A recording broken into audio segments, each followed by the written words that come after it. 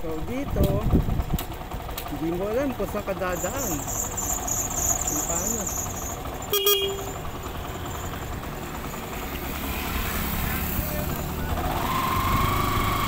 Walang, walang signage dito, walang signage kung didiretso ka ba o ano. So ito yan. Wala yung traffic.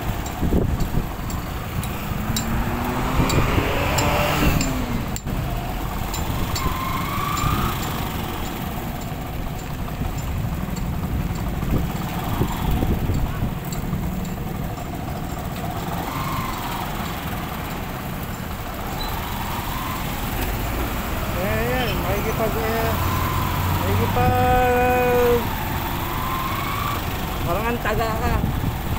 Wala silang signage kung kakaliwa, kakaanan. Grabe. Kaya ito, sigurado traffic na mamaya